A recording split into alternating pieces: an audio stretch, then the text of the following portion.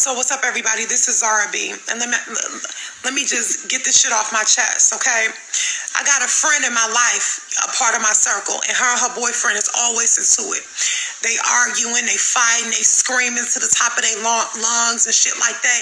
And we know as people, it become a point where enough is a fuck enough. No matter how you put it, no matter what the fuck you talking about, enough is enough. And you know, you gotta get to that point in your life where you like, nigga, I'm done fucking with you because this shit ain't gonna work for me. So anyway, to make a long story short, she invited me over to her fucking house or whatever. Her her boyfriend fighting yet again. They throwing shit, girl, throwing fucking uh, glass bottles, dishes, and shit at each other or whatever. And I'm like, these motherfuckers need to really stop. So of course, everybody knows that, you know, I don't know about y'all, but I'm that type of friend or that type of person. I'm not getting involved with nobody's relationship problems because that's not my fucking place. And then what the fuck I look like saying something to you for anyway? And then I tell you about your, the, the dude you with or you shouldn't be talking to him or whatever. And then you, oh yeah, and for that day or that moment, yeah, you want me to help you and shit, but the next day you back with his motherfucking ass. So I stay the fuck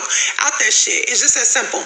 So they throwing shit, girl, dishes and all kind of shit, moving the couches around. Like literally, I feel like they trying to kill each other. The shit is so crazy in his house. So her boyfriend like, yeah, you need to get your motherfucking friend up out of here before I beat her motherfucking ass and put hands on her and da da da. He was talking about me that he was gonna put hands on me and do all this crazy ass shit to me.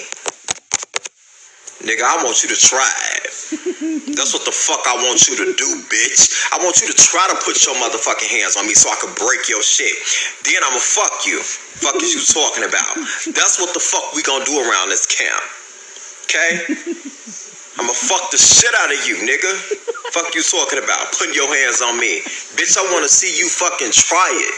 Shorty? that shit was crazy as hell today. Damn. I don't like I don't like to see my friends going through that shit, but you know, relationship problems, it's just really best that we stay the fuck out that shit. I'm done. I'm done. I can't I can't handle this no more. I'm done. Mm-mm, I'm done.